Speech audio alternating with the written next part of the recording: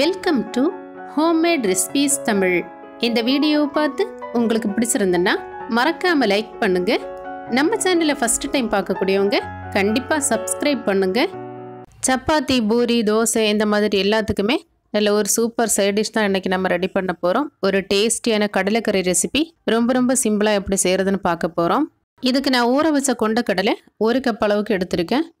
இதை ஃபஸ்ட்டு ஒரு குக்கரில் சேர்த்து இது கூட அதே அளவுக்கு தான் ஒரு கப் அளவுக்கு தண்ணியும் சேர்த்து தேவையான அளவுக்கு உப்பும் சேர்த்து இந்த குக்கரை மூடி போட்டு கரெக்டாக மூணு விசில் வரும் வரை வேக வச்சு எடுக்கலாம். மூணு விசில்லே இந்த கடலை நல்லா பஞ்சு போல் வெந்துடும். இனி அடுத்ததாக ஒரு இரும்பு கடாய் எடுத்து வச்சுருக்கேன். இதில் கால் கப் அளவுக்கு தேங்காய் எண்ணெய் சேர்க்கலாம். தேங்காய் எண்ணெய் சேர்த்து பண்ணும்போது இந்த கிரேவி இன்னும் நல்ல டேஸ்ட்டாக இருக்கும். இனி இந்த எண்ணெய் சூடானதுக்கு அப்புறமா ஒரு பெரிய வெங்காயத்தை இந்த மாதிரி நீளவாக்கில் கட் பண்ணி ஒரு பச்சை மிளகாயும் ரெண்டாக கட் பண்ணி எடுத்து வச்சுருக்கேன். இதையும் சேர்த்து இந்த வெங்காயத்துக்கு தேவையான அளவுக்கு உப்பு இப்போவே சேர்க்கலாம். கடலை வேக வைக்கும்போது ஒரு டீஸ்பூன் உப்பு சேர்த்துருந்தேன். இப்போ வெங்காயம் வதக்கும் போது ஒரு டீஸ்பூன் உப்பு சேர்த்துருக்கேன். இனி நம்ம உப்பு சேர்க்கணும்னு தேவை கிடையாது. இந்த உப்பே கரெக்டாக இருக்கும். இப்போ வெங்காயம் முக்கால் பாகம் வதங்கினதுக்கு அப்புறமா இதில் ஒன்றரை டீஸ்பூன் அளவுக்கு இஞ்சி பூண்டு பேஸ்ட்டும் சேர்த்து இந்த இஞ்சி பூண்டு பேஸ்ட்டோட பச்சை வாசனை போகிற அளவுக்கு வதக்கி எடுக்கலாம். இனி இந்த இஞ்சி பூண்டு பேஸ்ட்டும் சேர்த்து நல்லா வதக்கி விட்டதுக்கு அப்புறமா ஒரு பெரிய பழுத்த தக்காளியை இந்த மாதிரி சின்ன சின்னதாக கட் பண்ணி இது கூட சேர்த்து இந்த தக்காளியையும் நல்லா வதக்கி எடுக்கலாம். இந்த வெங்காயம் இஞ்சி பூண்டு பேஸ்ட் தக்காளி எல்லாம் நல்லா மசிஞ்சு வெந்ததுக்கு அப்புறமா இனி இது கூட அரை டீஸ்பூன் அளவுக்கு மஞ்சள் தூளும் ரெண்டு டீஸ்பூன் அளவுக்கு மிளகாய் தூளும் சேர்க்கலாம். நான் எடுத்துருக்கக்கூடிய ஸ்பூன் வந்து அரை டீஸ்பூன் அளவு தான் அதனால தான் இந்த மிளகாய் தூளை நான் நாலு தடவையாக சேர்த்துருக்கேன். இந்த மிளகாய் தூளோட அளவை கூட்டவோ குறைக்கவோ செய்யலாம். அதெல்லாம் நம்ம விருப்பம் தான் ஆனால் ரெண்டு டீஸ்பூன் அளவுக்கு சேர்த்திங்கன்னா கரெக்டான அளவில் இருக்கும். இப்போ தீயை சிம்மில் வச்சுட்டு இது எல்லாத்தையும் லைட்டாக இந்த மாதிரி எண்ணெயில் வதக்கி விடலாம். நம்ம இந்த மசாலா பொருட்கள் எல்லாம் சேர்க்கும்போது தீயை சிம்மில் வச்சுட்டு தான் வதக்கணும். இனி அரை டீஸ்பூன் அளவுக்கு கரம் மசாலா தூளும் சேர்த்து லைட்டாக வதக்கி விட்டுட்டு அடுத்ததாக இது கூட மல்லித்தூள் பெருஞ்சீரகத்தூள் எல்லாம் சேர்க்க போகிறோம் இனி இது கூட ரெண்டு டீஸ்பூன் அளவுக்கு மல்லித்தூளும் ஒரு டீஸ்பூன் அளவுக்கு பெருஞ்சீரகத்தூளும் சேர்த்தா போதும். கரெக்டாக இருக்கும். இனி இந்த மசாலா தூளை இந்த எண்ணெயில் சேர்த்து லைட்டாக வதக்கலாம்.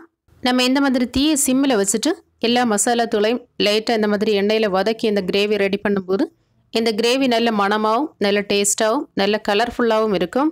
ரொம்ப நேரம் வதக்கணும்னு அவசியம் இல்லை. இந்த மாதிரி லைட்டாக வதக்கி விட்டால் போதும். இனி அடுத்ததாக நம்ம வேக வச்சுருந்த கொண்டக்கடலை தண்ணியோடவே இது கூட சேர்க்கலாம்.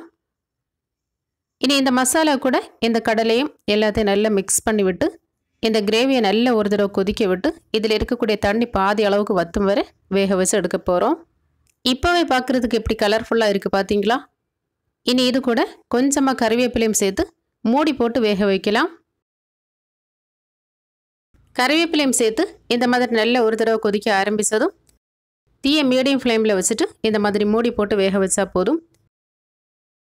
இனி அடுத்ததாக ஒரு மிக்சி ஜார் எடுத்து இதில் அரை கப் அளவுக்கு துருவின தேங்காயும் அரை கப் அளவுக்கு தண்ணியும் சேர்த்து இந்த தேங்காய் வந்து ஒரு முக்கால் பாகம் நம்ம அரைச்செடுக்க போகிறோம் ரொம்ப நைஸாக அரைக்கணும்னுலாம் அவசியம் இல்லை. ஒரு முக்கால் பாகம் அரைச்செடுத்தால் போதும். இனி இந்த கிரேவியில் இருந்த தண்ணியெல்லாம் பாதி அளவுக்கு வத்தினதுக்கு அப்புறமா நம்ம அரைச்சி வச்சுருந்த இந்த தேங்காய் விழுத இது கூட சேர்க்கலாம்.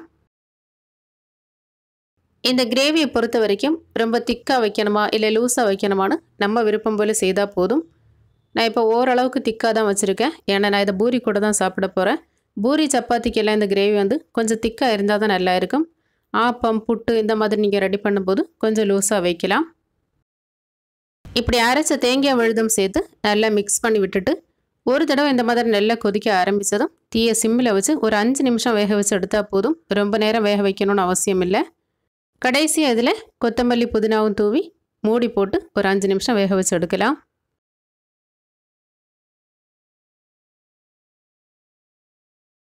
ஒரு அஞ்சு நிமிஷம் கழிச்சு நம்ம மூடி ஓப்பன் பண்ணி பார்க்கும்போது இந்த கடலக்கரையில் இருந்த தண்ணி எல்லாம் வற்றி ஓரளவுக்கு திக்காயாச்சு இனி இந்த ஸ்டேஜில் நம்ம ஸ்டவ் ஆஃப் பண்ணினா போதும்.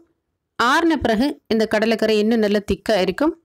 நம்ம தேங்காய் அரைச்சி சேர்த்ததுனால இந்த கிரேவி நல்லா திக்காக இருக்கும். அது மட்டும் இல்லாமல் இந்த தேங்காய் பல்லு கிடந்தே இந்த கடலை கொஞ்சம் கூட வெந்ததுக்கு அப்புறமா கடலை சாப்பிடும்போது இன்னும் நல்ல டேஸ்ட்டாக இருக்கும். அவ்வளோதான் நல்ல சூப்பர் டேஸ்டியான ஒரு கடலைக்கறி. ரொம்ப ரொம்ப ஈஸியான முறையில் நம்ம ரெடி பண்ணிட்டோம். சப்பாத்தி பூரி பரோட்டா புட்டு ஆப்பம் தோசை இந்த மாதிரி எல்லாத்துக்குமே இந்த கடலைக்கறி நல்ல சூப்பராகவே இருக்கும். அதிக அளவில் வெங்காயமோ மசாலா பொருட்களோ எதுவுமே சேர்க்காம ரொம்ப ரொம்ப சிம்பிளான முறையில் அதே சமயம் நல்ல டேஸ்டியான ஒரு கடலைக்கறி ரொம்ப ஈஸியான முறையில் நம்ம ரெடி பண்ணியிருக்கோம். இதே அளவுகளில் இதே போல் செய்து பார்த்துட்டு உங்களோட கருத்துக்களை மறக்காமல் கமெண்ட் பண்ணுங்கள் இந்த வீடியோ பிடிச்சிருந்தா இந்த ரெசிபி உங்களுக்கு பிடிச்சிருந்துன்னா மறக்காமல் ஒரு லைக் பண்ணுங்கள் இந்த வீடியோவை நீங்கள் பார்க்குறதோட மட்டும் இல்லாமல் உங்கள் ஃப்ரெண்ட்ஸ் அண்ட் ஃபேமிலிக்கும் மறக்காமல் ஷேர் பண்ணுங்கள் மீண்டும் இன்னொரு ரெசிபியில் சந்திக்கலாம். தேங்க்யூ